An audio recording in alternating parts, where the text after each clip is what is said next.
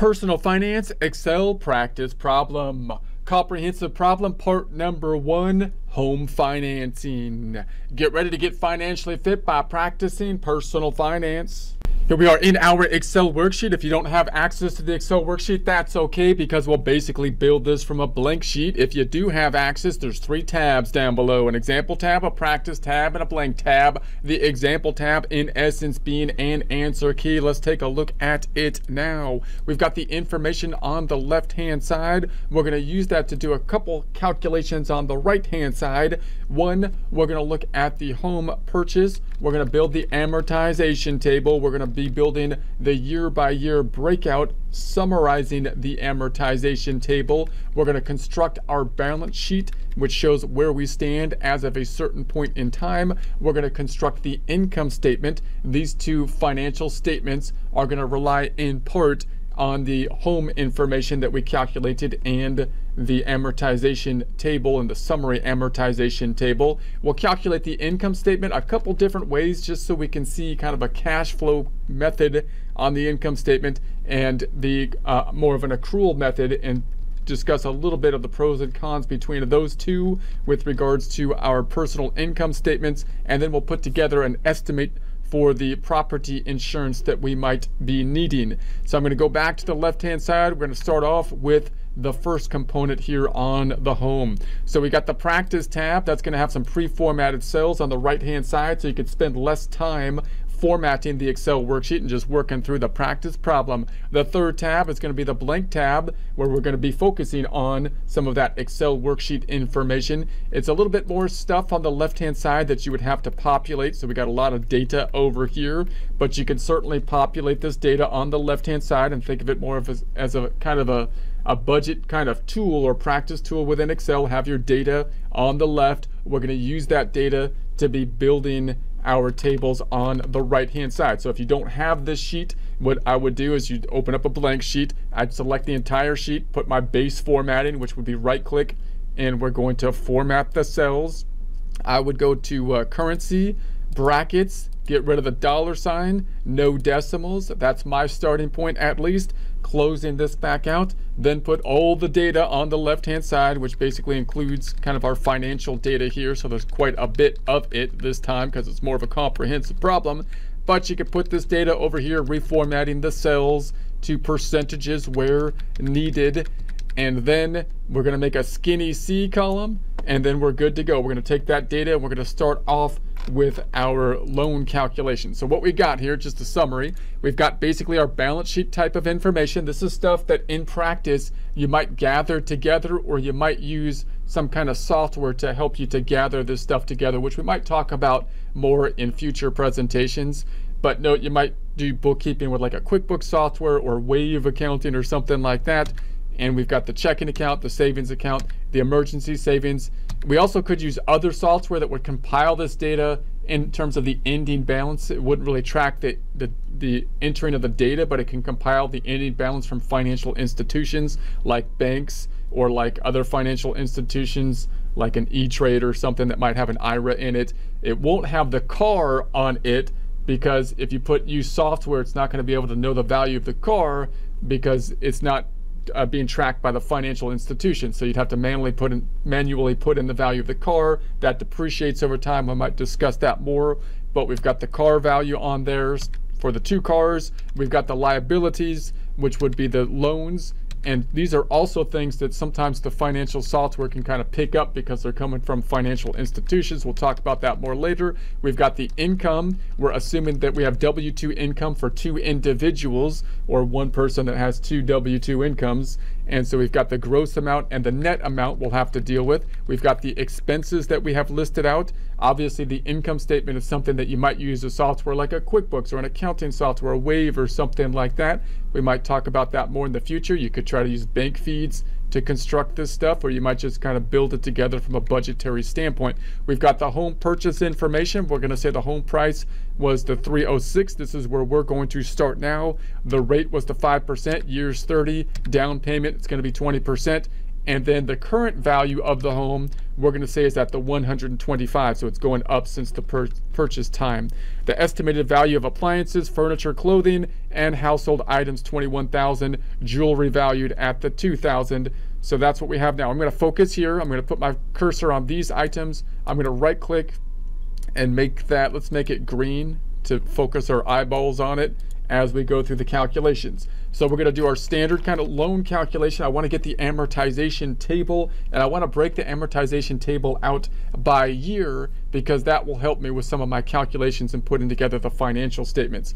So we did this in a prior section. Let's just redo the calculation. You might get an amortization table from the, the loan provider. You can look up online for the amortization tables, but if you could put that data into your worksheet, it could be a useful tool to help you with your with your financials and your budgeting stuff. So let's do that again. I'm going to say this is the loan payment, the loan payment calculation. I'm going to select these two items. I'm going to go up top. We're going to do our, our formatting for a header, font group. We'll make that black and white, black and white. And so this is going to be the home price. So I'm going to say home price, price. And this is going to be equal to and if the home was priced down here at the 306 200 there is that. We're going to say the down payment. The down payment that payment's down is 20% down payment percent is going to be equal to I'm drawing all this information from the data to the left so that you can change the data to the left and it'll change the rest of your information. That needs to be a percent now so I'm going to go to the home tab numbers percentify it. I'm going to underline it font group underlinify it and then we're to say this is to be the down payment then It's to be equal to the 306 200 times the 20%. So if we're putting 61 240 down, then we're to have to finance or the loan amount at the start is going to be the difference. It's going to be equal to the 306 200 minus the 61 2. That's going to be the 244 960. Now we'll do our payment calculation. This is something if we had already set up the loan, we probably have the payment information. But let's do that calculation for the payment. If I have this information up top, we could do the standard payment calculation. If we were trying to estimate this, we're going to say negative PMT brackets and this is going to be the rate the rate which is going to be I'm going to scroll down and pick that up down here. That's going to be the 5% comma actually not comma hold on a sec. There's the 5% I'm going to say that divided by 12 because that's a yearly rate and we need a monthly rate. And then comma the number of periods is going to be 30 I'm going to pick that from my data down here again 30 and then comma and then the next one is going to be the present value, not the home value, but the loan value. So there is that, closing up the brackets and enter. So that we've got this amount. Now I messed up. Hold on a second. You might be saying, what did you do? You messed it up somehow. See this, this second item here for the periods, I kept the 30. It should be 30 times 12. 30 times 12. And so there we should have it. There's the 1315. It's rounded because I took the pennies out. Now we can also do that online or double check it online. So I might go into an online tool. I'm not trying to promote this particular one, but you can you can search for Google search an online tool for the loan calculator. I'm going to say it was the loan amount is the 244960. So I'm going to say all right, loan amount is the 244960, 30 years. It was 5%, we said, and just do the calculation. So there's the 1315. That's the same calculation we got to here. So we can kind of double check our numbers. We can also create the amortization table here, which is great, but I can't really pull any information from this when we try to move that for other calculations for budgets or for uh, for the calculations of our, of our income statement, depending on how we're going to do that. So I'm going to select this one. I'm going to make it blue and bordered. Let's put some borders around it. Let's make it blue and we're going to make our amortization table now as we've seen in the past. I'll do it fairly quickly because we've seen this in a prior section. I'm going to put my cursor up top and we're going to make this skinny item here, the skinny row, home tab, format painted, and I'm just going to put that over here on column F. Now we're going to use this amortization table later. So I want to make the amortization table. I want to make it broken out by year so I can use that for like our financial statements, which you could also use in a similar way as a budgeting kind of format. So we'll try to tie this out then in a way that could be useful, which is why I think it would be useful to do it in Excel. So I'm going to say this is going to be years. I'm basically copying this amortization table so it looks something similar to this, right? I'm going to put the years included though instead of just the month so I can convert it to a year by year breakout. So then we got the months because it's going to be in the format of months by month. And then we got the payment. And then we've got the interest. And then we've got the loan, or you might say the principal uh, decrease, decrease. And then, is that what they call it over here? Let's see what they call it just for the, they call it principal and then the ending balance. So I'm going to say loan decrease. And so this is going to be the loan balance, so the ending principal balance. There we go. These three, I'm going to pull them down. Notice I didn't use the wrap text here. I basically put them on two different lines because I don't want a, a fat uh, one line here. I want to keep it skinny. But if I needed to make a table from it, you can see that kind of causes a problem. So we will make a, a pivot table from this so you can see that.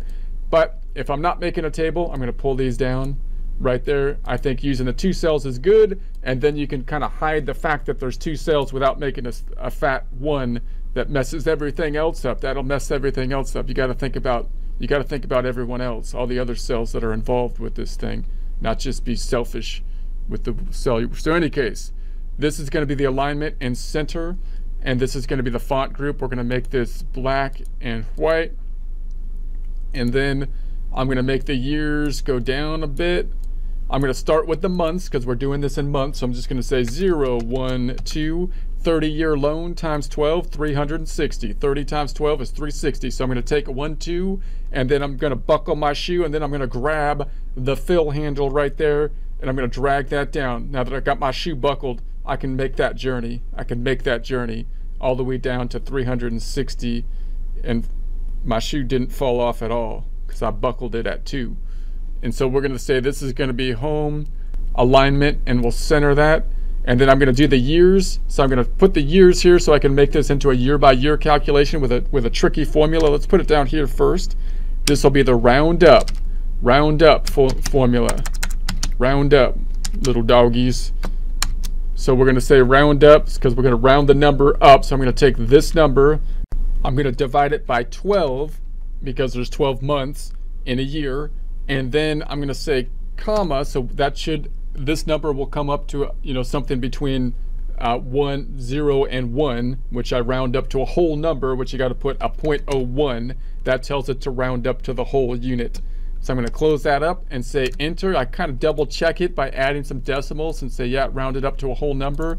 And then I can put my cursor on it. I can double click on the fill handle, which I just call a fill button at that point, and it should copy it down. Let's center it here. We're going to center it. I'm going to pull it up too. I'm going to put my cursor on the fill handle and drag it up just to put a zero up top, so going to be zero. And now if I go all the way down, it gives me the years. So it gives me 12 13s, 12 14s, 12 16s, and if I go all the way down, we should end up after 30 years. There we go. Okay, so then, then what we'll do is I'll go to the loan balance to start things off, and then we're going to start off the loan at that 244 960 and then we'll do our payments, which we calculated right here. That's going to be the same all the way down. So this is going to be equal to the 1315. I'm going to select F4 on the keyboard, making it absolute, dollar sign before the E and the 6. You only need a mixed reference, but an absolute one works. The interest is going to be equal to the 244 960 times the rate, which is not that 20%. It's way over here in our data set. It's the 5% but that's the yearly rate. So I'm going to divide it by uh, 12, divided by 12. So it's going to be this number times the 5% divided by 12. Now this 5% is outside of our table and therefore we want it not to move down when I pull it down. So I'm going to say F4 on the keyboard. You only need a mixed reference, but an absolute one works. Dollar sign before the B and the 32 and enter the loan decrease then is going to be equal to the payment minus the interest. And then the loan balance, if this is the payment and this is went to interest, means it it poofs away in a puff of smoke because it's the rent on the purchasing power of the money. The loan's only going to be decreased by the 9 to 294. So that's going to be the prior loan balance minus that 294. So there we have it. Now I know I don't need any absolute references there because these two are both inside the table I'm working on. So they're not, that's good. They're good to go. I want them to move down as I copy down. So I'm going to select those four and I can just double click the fill handle, which is really a fill button at this point. Double click the fill button, and then we're going to scroll down, and you can see there's a change, of course, between the interest and principal. That's what's going to kind of mess us up with our accounting when we put together our financial statements, and I'll talk a bit about how that kind of messes us up when we record it, and what to deal with that, and how to think about that a bit. I'm going to select this whole thing and make it blue and bordered now. Select this whole thing and make it border blue. Border blue font group, border, and blue. Looks excellent. Okay, so we can check that to the online tool here and say, does that line up? I can check up a couple lines and say I'm at the end of year one. I should be at the 241, 345, for example. Into year one, 241, 346 about. Looks good. Now I'm going to take this, I'm going to break it out on a year by year basis, doing it two ways, one with formulas, the second with a pivot table because that's what I'm going to use to do my financial statements and whatnot. I need a skinny M column to do this. So I'm going to put my cursor in the skinny F and go to the Home tab, Clipboard, Format Paint, and make that skinny M, same skinny size. And then I'm going to take the headers up top, just going to copy those headers, Control C, put that in N, and there it is. I don't need the months though because we're not talking months this time. So I'm going to put my cursor on column O, right click, and I'm just gonna delete the whole thing. And I'll make the years a bit more skinny, skinnerizing them. They've been skinnerized. And then we're gonna say, this is going to be one, we'll say one, two, three. I'm gonna take those three and I'm just gonna put my cursor on the fill handle and drag it down, not too far this time, just going down to 30. We're not going all the way down. I didn't even buckle my shoes this time because we're just going down to 30 do that barefoot. You can do that barefoot. So I'm going to go then, we're going to go to the home tab. We're going to go then to the alignment and center it. So now I want to sum up the payments. So I can do this, I can sum up the payments here. So I'm going to do that calculation with the sum if calculation. So I'm going to say this equals the sum if. Now you can use either of these. I think the sum ifs is more versatile, so you might try to get used to using the sum ifs, which is just a it's just a little bit different format. Now it has the sum range first, so the sum range, I want to sum up everything in this column if there's like a 1 next to it. So I'm going to say I want this whole column, I'm just going to select the whole column, picking up that whole column, and then I'm going to say, and I probably should stop it at the end of the table, but this goes down forever, so I'm just going to take the whole column and then comma, and then the criteria range is this range, meaning I want you to look for a 1 in that range. And if you have a 1 in that range, I want you to include that in the sum stuff that we're summing. And then comma, and then the criteria is this one. So if you find that one in that range, then I want you to sum up the related number in the payment range. You got it, Excel? You got it? And there it is, 15. Let's do it a couple more times this equals the sum if, and then we'll, we'll copy the formulas across, sum ifs. I'm going to use the sum ifs with an S this time. The sum range is once again this range. So I'm sorry, it's this range, interest. We're looking interest, the interest column, and then comma.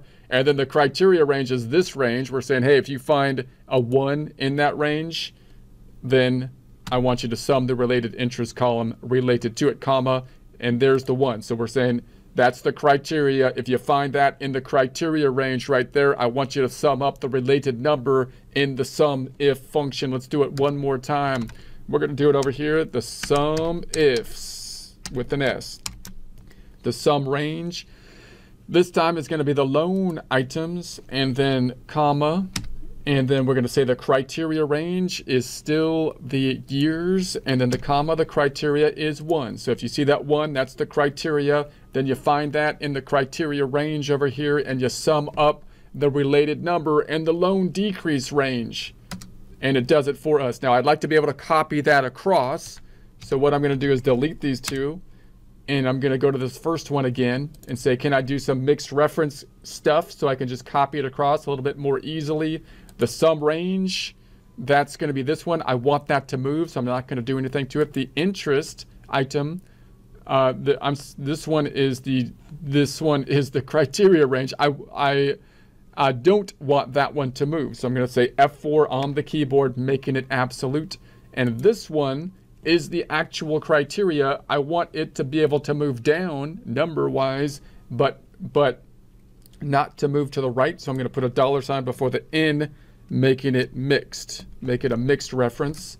Then I can copy this to the right to get to the same numbers. I'm not going to go to the loan balance because it's a little different. And so there it is. And then I'm just going to select those three and hit the double click on the fill handle or the fill button. Fill button little bit different calculation for the last one because I want to find the ending balance like right there. So there's the ending balance. So I got to use the min formula. So equals the min if. And then we have the ifs. Min ifs and then the range. This is the min range, the loan balance. And then comma, the criteria range. I'm sorry, the, the min range and then the criteria range is this one that's right. And then comma, the criteria is the one. So we're saying if you find that one in this range, we want you to sum or take the min of the amount over here in this range.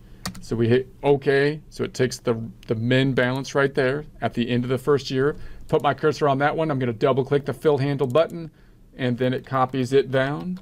We might want to total this up, copy it down, total up equals the sum of these items totaling it up. Total it. Total it. Do you want it totaled? I totally want it totaled. Total it then. It should totally be totaled. I'm going to sum these. I'm going to put some underlines, some fancy formatting. Select all this stuff and make that border blue. So you might say there's an easier way to do that. We could try to pivot table. Let's do the same thing because I got a well-formatted table over here. I can't use the header because I got these two rows, but I could just use this header right there and just copy the whole thing. I could do a pivot table and do the whole thing just way easy, way easy. So I'm going to select this whole thing and I'll do it one more time. And we'll do it pivot table, pivot table style this time. And I'll put that right underneath right here. So I'm going to go insert pivot table, insert the pivot tab. I'm going to put my cursor on existing worksheet and I want to put it right there. There's where it's going to go, right underneath the other one. And OK. Pivot table. So all I got to do on the pivot table is I'm going to pull the years down. It tries to put them in the sum because it's a number, but I want to put it over here in the rows. So it gives me the rows. And then I'm not going to take the months, but I just want the payment, the interest, the decrease, and the balance. And there it is. It basically does it just right there for us. I just need to format it now. So I'm going to hit the drop downs here. You could do this up here. You could hit like right click on the cell up top. And then you want to go to, to the pivot table options. And hold on a second. I'm going to go to the cell up top and I'm going to go to the value settings. The value settings, which you can also do here, hitting the drop down and then go to the value field settings or right click and go to the value field settings. It's in the sum area, so that's what I want. I'm going to go to the number format now, and I'm going to make them currency, bracketed, remove the dollar sign, decimal down, down, and OK. And OK. I'm going to do the same thing here. I'm going to right click. I'm going to say, I'm not trying to format the cells here. What I'm trying to, I want to do it down here, value field settings. It's different. So the sum is what we want number formatting. It's going to be the currency, brackets, dollar sign gone, decimal down, down. Let's do it again. Okay, okay. Right click. I'm going to say value field settings. We're going to say this is going to be the sum. That looks good. Currency, brackets, dollar sign gone, decimal down, down. Okay, okay. The last one's a little bit different. So I'm going to right click this one. Value field settings. This time I don't want it to sum. I want it to take the min, the min. And then the number formatting. This part's the same. Currency, brackets, dollar sign gone, decimal down, down, and OK. And OK. So you could adjust the labels if you wanted to. At this point, but I'm going to leave them as is. They also made the cells a little bit fat, so we're going to skinnerize the cell. It fattened up the cells. We're going to skinnerize the cells. So we're going to put our cursor from N to R. This is this is how diets should work when you skinnerize your belly. They should you just select them and then you just drag it like that. And before we wrap this up, note that it, we took we left out one last month down here. So if I scroll all the way down, you'll note we missed the last payment. So if I scroll all the way down here, we stopped it at at uh, 360 359. So I'm going to actually add one more payment. And so there we have it. So that takes it down to zero. So if I go back up, that will affect this last month down here. The last month is now at zero. And, and the pivot table, notice, didn't refresh automatically. So you got to right click on it and refresh the pivot table. And then it'll pick up. So I'm going to go on the pivot table here. We're going to go into the pivot table analysis. And then in the data group, We've got the change the data source. So if I click on this item, you can see that it goes down all the way down here, but it leaves out that last row. So it's stopping at the 362, so I could reset the whole thing, or I could just say I want that to go down to 363, and then okay. And then if I go back up top again, we could check it out. We could check it out and see what we have here. So now it's refreshed and going down to zero. Now I'm going to skinify these rows again, making them a little bit more skinny. And so there we have those. And so it has now been adjusted. This is future me talking to you from a future point in the problem here, noting that we stopped this at the 359 instead of going down to the 360. So we left off that last payment, which is going to cause us a problem when we convert it to the pivot tables and we'll fix it at the end of the practice problem. So you can either include that last payment, which will take your amortization down to zero, which is usually the indication that we have done it properly, or you can you can keep it at the 359 if you so choose and we'll see it when we have a problem with the pivot table and we'll use that to kind of refresh our pivot table at a future point.